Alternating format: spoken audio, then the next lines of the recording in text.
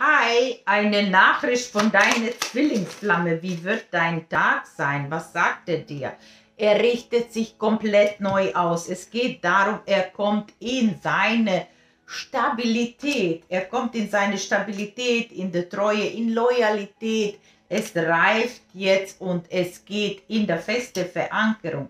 Alle seine innere Kämpfe lässt er los. Alle Verstrickungen im Außen lässt er los und lässt er hinter sich.